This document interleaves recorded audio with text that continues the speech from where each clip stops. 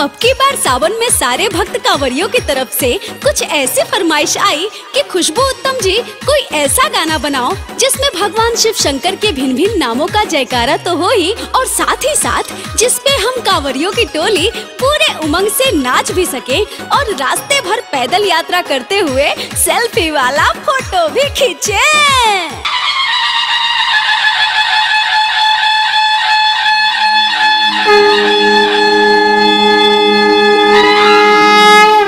One